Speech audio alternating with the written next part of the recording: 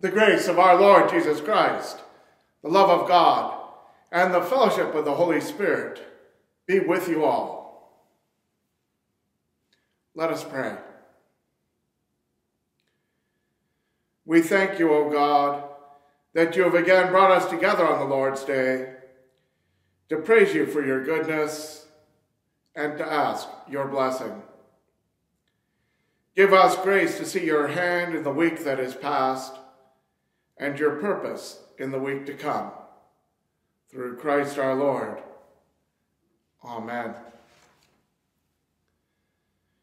Dear friends in Christ, as we turn our hearts and minds to worship Almighty God, let us confess our sins.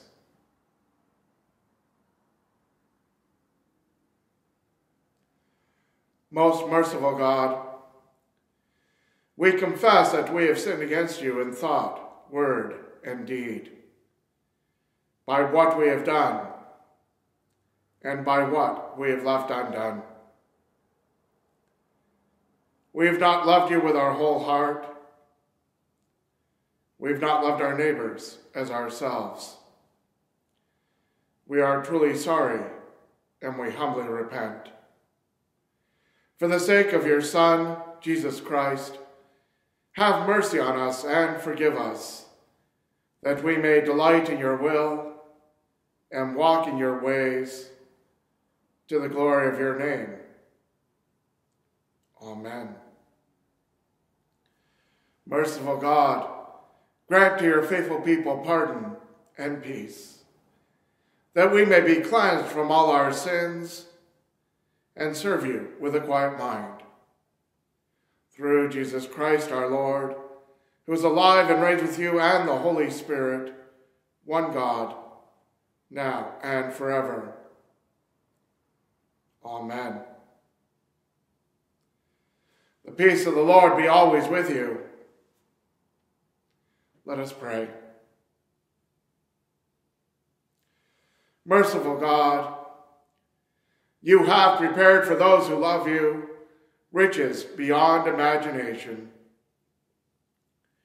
Pour into our hearts such love toward you that we, loving you above all things, may obtain your promises, which exceed all that we can desire.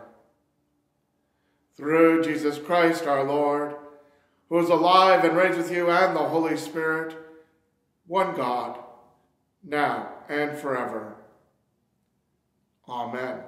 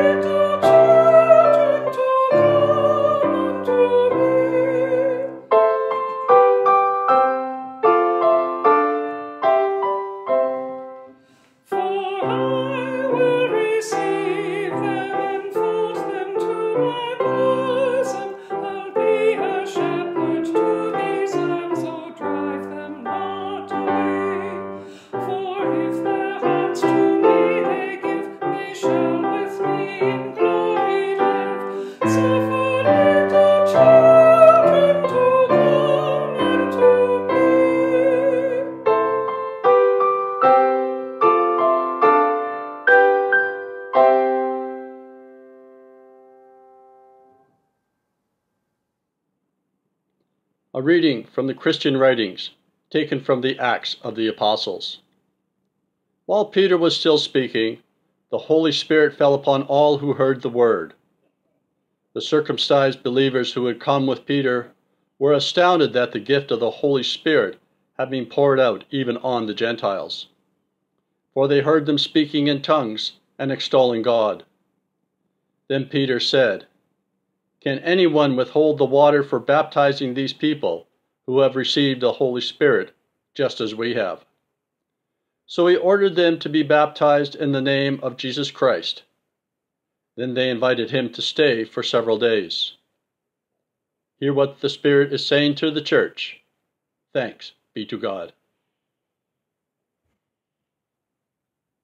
The psalm appointed for this morning is Psalm 98. Sing to the Lord a new song, for he has done marvelous things.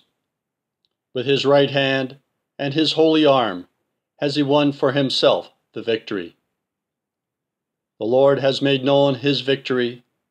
His righteousness has he openly shown in the sight of the nations.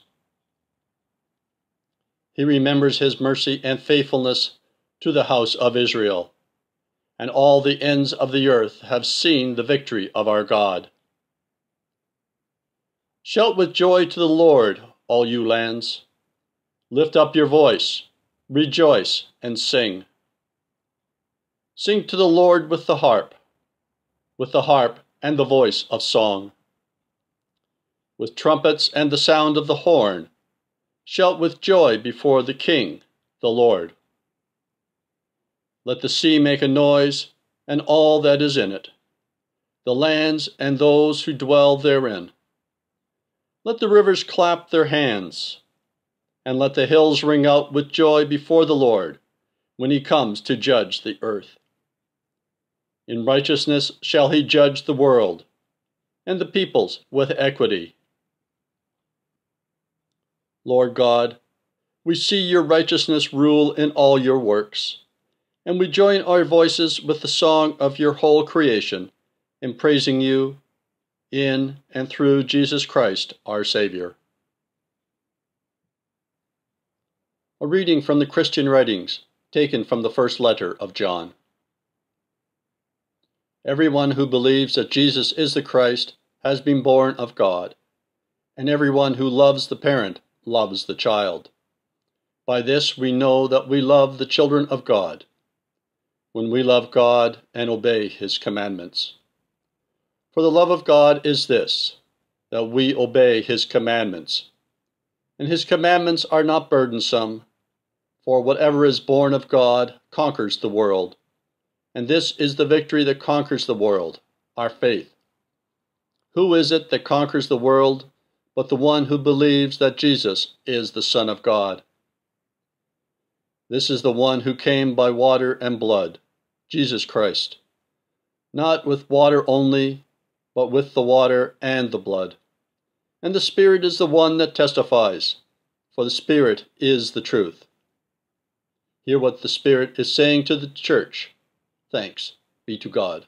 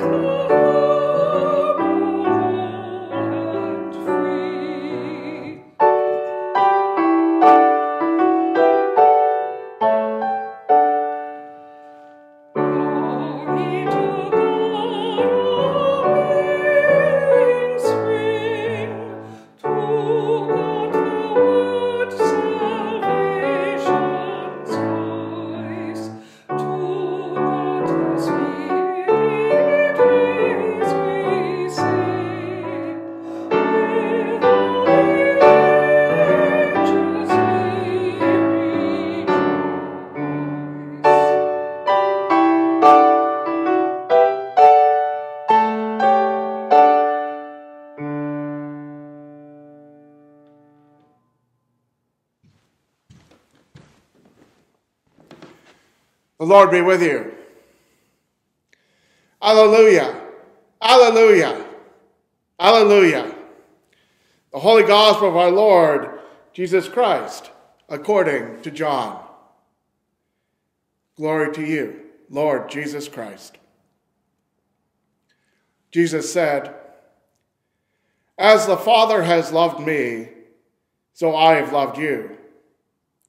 Abide in my love. If you keep my commandments, you will abide in my love, just as I have kept my Father's commandments and abide in his love. I have said these things to you so that my joy may be in you and that your joy may be complete. This is my commandment that you love one another as I have loved you.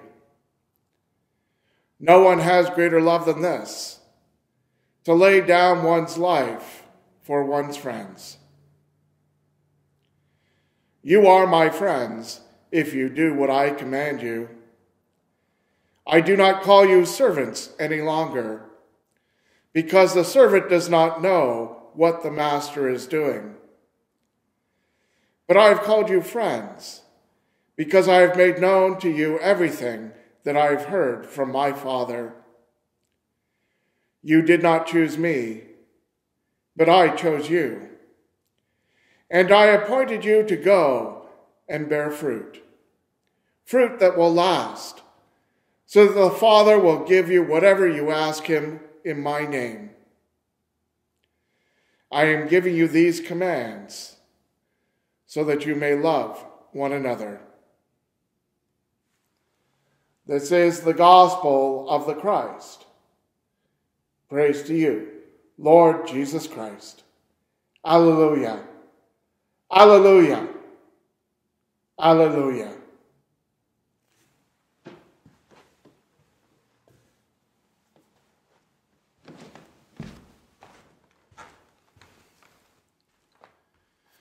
Now may the words of my mouth and the meditations of all our hearts be acceptable in your sight O Lord, our strength and our Redeemer. Amen.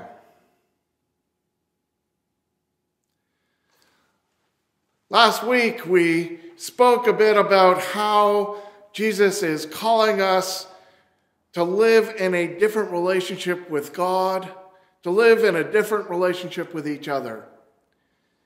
Relationship that's not based on fear not based on trying to avoid punishment, not based on trying to avoid sorrow or loss, but rather a relationship that's built on love, on positive way of looking at things, looking at living a life based on love because God has first loved us. And in the gospel reading today, I think Jesus is building on that idea by saying, No longer are you servants, but now you are friends. Moving from being a servant to being a friend is a fairly significant shift in relationship. It's a significant shift in the responsibilities. After all, a servant does what a servant is ordered to do. And they do it either in order to get a reward, like being paid, or to avoid some kind of punishment, like being fired. A servant doesn't have the same level of responsibility to actually do things. They do what they're told. And if what they do is wrong, it is their master that's responsible, not them. But when Jesus says, No longer are you servants, now you are friends. Jesus is inviting us into a deeper relationship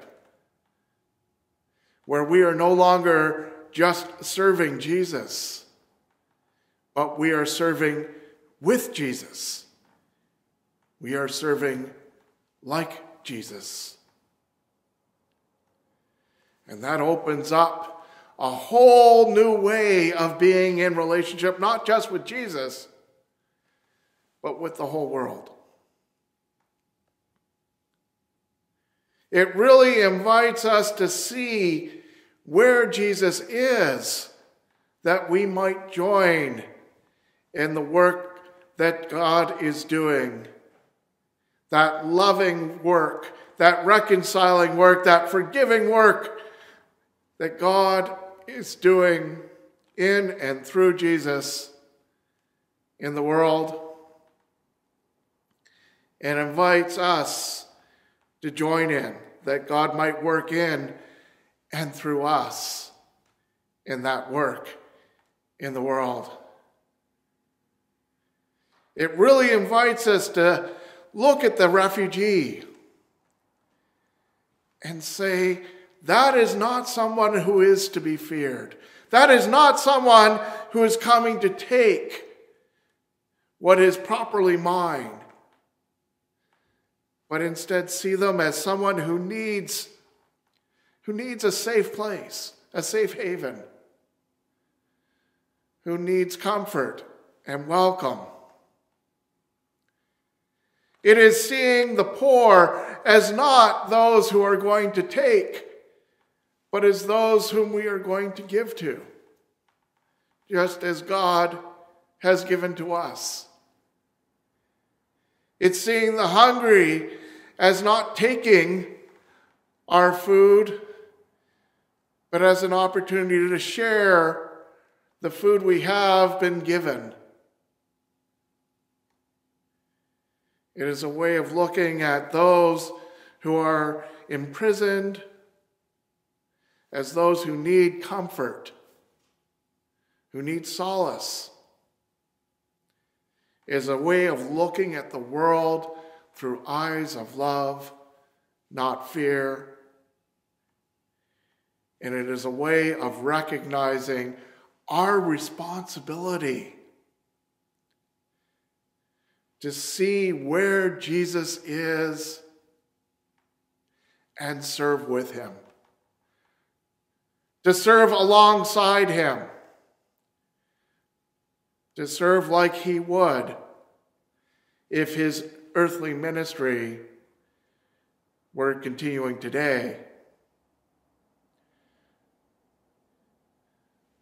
The idea of moving from servant to friend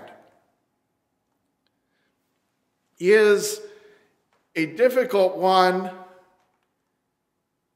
and yet, it is a natural progression for us to move from that idea of being only servants of Jesus to being servants of the needs of the world with Jesus, alongside Jesus, like Jesus. And this is the invitation to move from relationship based on fear to relationship based on love, to move from relationship of servanthood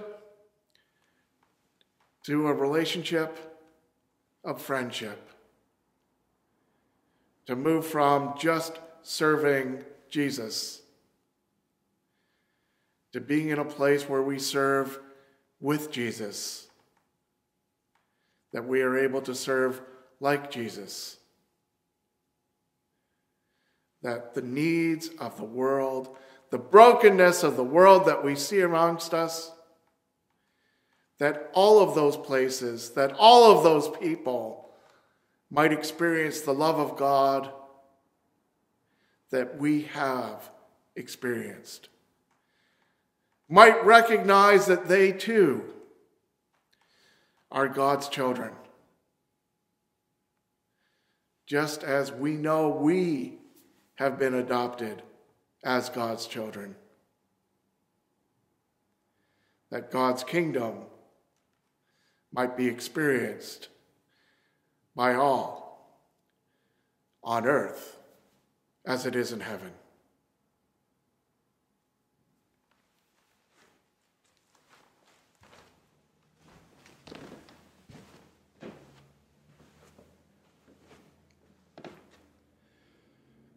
Let us confess our faith as we say, I believe in God, the Father Almighty, creator of heaven and earth. I believe in Jesus Christ, his only Son, our Lord. He was conceived by the power of the Holy Spirit and born of the Virgin Mary. He suffered under Pontius Pilate, was crucified, died, and was buried he descended to the dead. On the third day he rose again. He ascended into heaven and is seated at the right hand of the Father. He will come again to judge the living and the dead. I believe in the Holy Spirit, the Holy Catholic Church, the communion of saints, the forgiveness of sins, the resurrection of the body, and the life everlasting. Amen.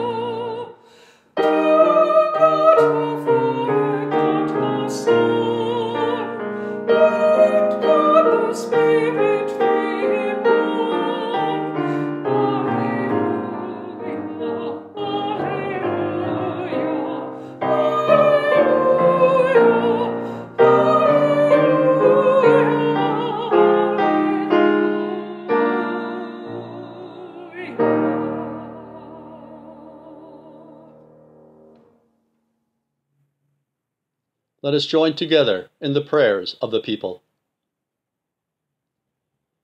We are to love one another as Jesus loves.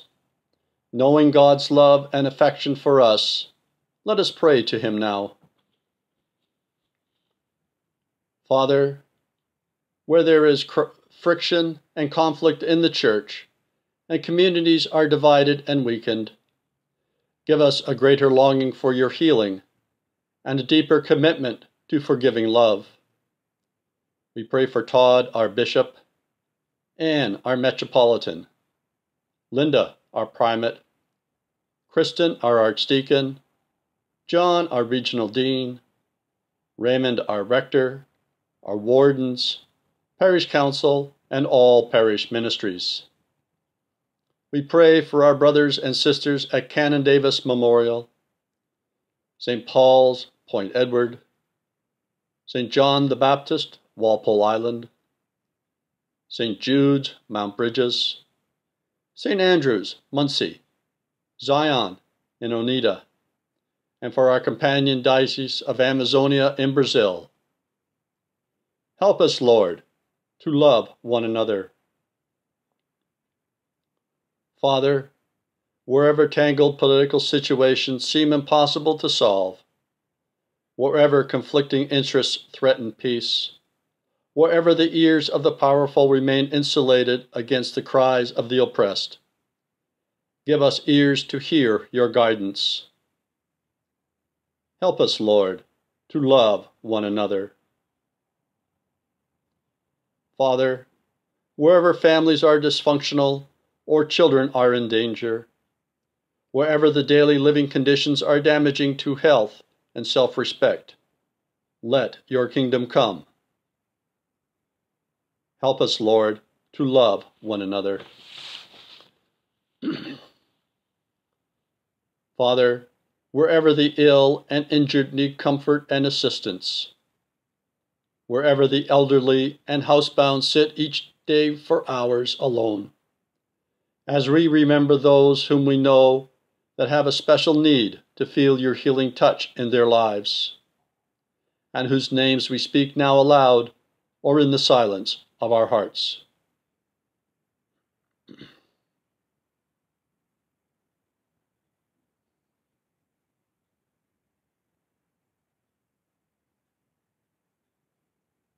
May we bring your love and help. Help us, Lord, to love one another.